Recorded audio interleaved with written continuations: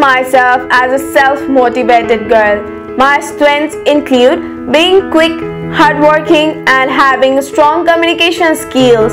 I have aimed to be a model and dancer since I was a kid. Good afternoon ladies and gentlemen. It's me Prakriti Chaudhary contestant number 10 from Hetauda. Modeling and dancing are some of my hobbies which I love to do the most in my free time. If you want to see me in finale, kindly vote for me in the link given below. Thank you.